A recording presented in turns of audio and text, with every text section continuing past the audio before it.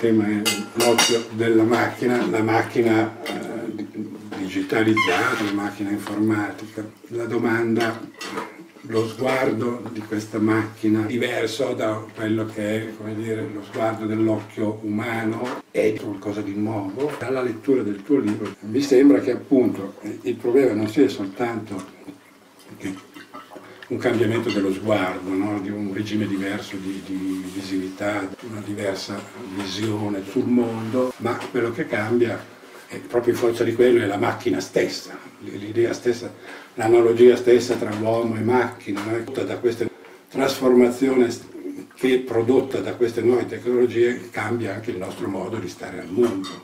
Vorrei fare una provocazione. Sì. Perché la domanda di fondo è, va bene, questo nuovo spazio visivo, questa mm. nuova visione, ma poi come ci si sta? E allora vorrei farvi vedere questa pubblicità. Questo è il problema. Pubblicità di, di Team. Che è lo sponsor della serata. Sì. Futurissimo. 5G. Cioè, voglio dire, facciamo difficoltà a capire il mondo in cui siamo, non a caso Fondirsi nasce da richiesta di giovani, dice aiutateci a capire il modo in cui viviamo. Professore, ci siamo. Lasciamo a lei. Ma eh, tutta questa nuova tecnologia appare così eh, ancora più incomprensibile, no? Grazie professore. Che veramente affidarsi a questo sembra appunto a fare un appello al sacro, no? secolarizzato, lì non a caso l'immagine, il miracolo, no? Cioè, Ex voto. Sì, sì, sì, cioè, cioè si mescola un po' tutto.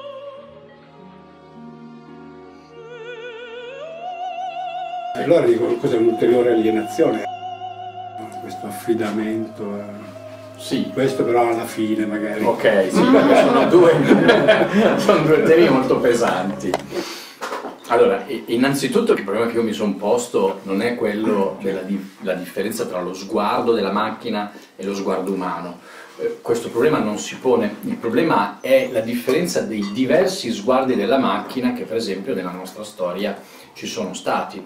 Cioè non è la prima volta che affidiamo a delle macchine io ho usato la parola macchina, ma la parola migliore forse sarebbe stato dispositivi per vedere. Eh, in Cina più di 2000 anni fa usavano delle bolle di vetro piene d'acqua per leggere meglio le cose scritte, disegnate in piccolo. Abbiamo inventato gli occhiali, le lenti, il telescopio, il microscopio, la macchina fotografica, la macchina cinematografica, dispositivi visivi molto diversi eh, la cosa su cui mm, ho, ho focalizzato la mia attenzione era se i dispositivi visivi di oggi, quelli digitali, erano così diversi da quelli del passato e se soprattutto erano stati prodotti e nello stesso tempo conducevano una società diversa. Cioè, partendo dal presupposto, ogni società produce un modo di vedere e quel modo di vedere produce la visione del mondo di quella società, questo è il passaggio per me fondamentale. Ogni società produce un modo di vedere, dei dispositivi visivi. Con dispositivi non intendo soltanto le macchine, ma proprio delle, delle modalità di vedere. E quelle modalità di vedere diventano la visione del mondo di quella società, di quel momento storico. L'esempio per me più eclatante e più bello da studiare è quello della prospettiva rinascimentale, che è un dispositivo è un dispositivo che tra l'altro è molto simile a quello dei computer, perché è matematico, è geometrico, è algoritmico. Se voi leggete la, la prospettiva, de, de prospettiva Pingendi di Piero della Francesca, lui vi dice dividete gli oggetti, il corpo umano in tanti punti, in tanti segmenti, lo fate geometricamente, usate le proporzioni, usate i sistemi di calcolo complessi per riprodurlo sulla tela. Cioè, sta parlando di computer graphic fondamentalmente. Allora, il punto è, per esempio, la prospettiva. La prospettiva che cos'è? È un modo di dipingere? No, è un modo di pensare il mondo, è un modo di vedere il mondo. Come nasce la prospettiva? Dove nasce la prospettiva? Non sono io a dirlo, sono studiosi come Panofsky, soprattutto Gombrich, ce l'hanno spiegato molto bene. Chi è che si inventa un modo matematico di vedere il mondo? Una classe dominante mercantile.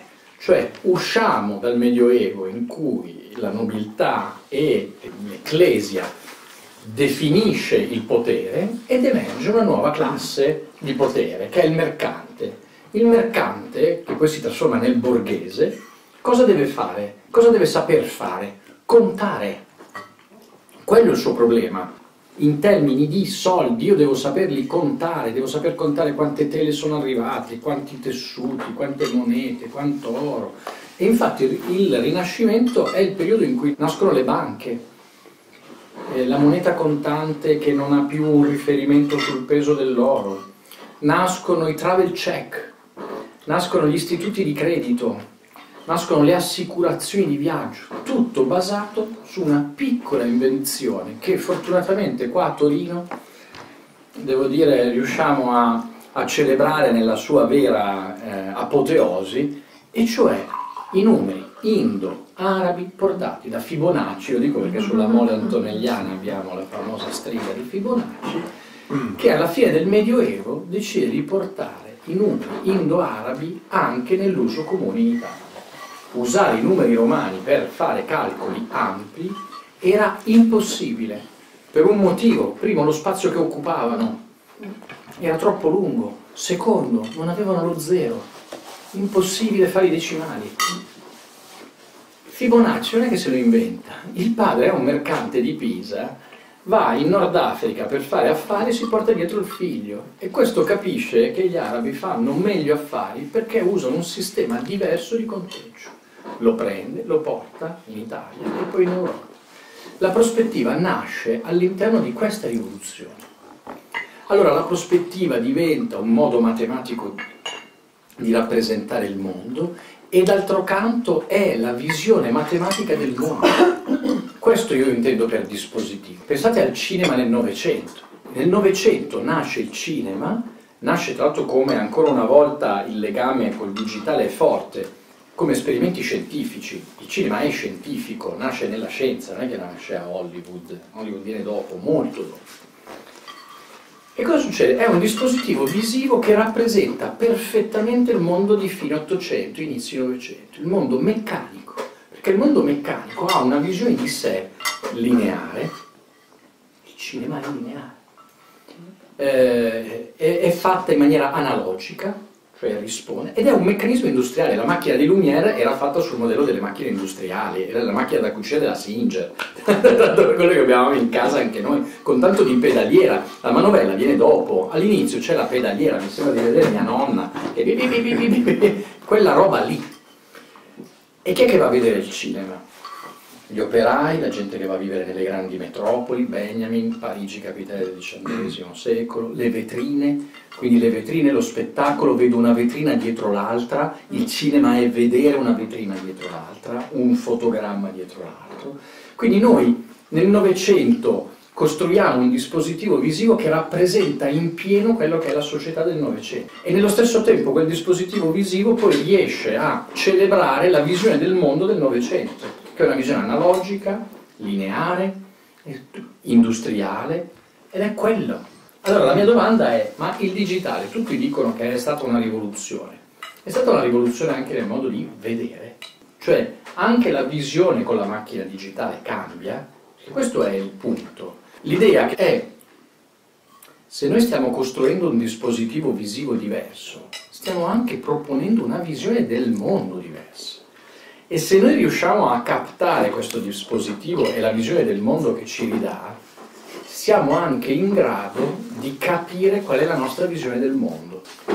Quindi il mio lavoro è stato esattamente questo, da umanista quale io sono, sono uno studioso di cinema, di filosofia e via dicendo, ho cominciato a dialogare con gli ingegneri gli informatici, gli sviluppatori, sono andato a parlare, io ormai partecipo più che altro ai convegni ingegneri, sono sempre un pesce fuor ovunque vado però è molto divertente, e, perché voglio capire quali sono i funzionamenti, quali sono le dinamiche, quali sono le logiche, perché a quel punto io posso descrivere un occhio diverso. E se posso descrivere un occhio diverso posso iniziare, qui comincio a rispondere, iniziare a descrivere che visione del mondo noi abbiamo oggi.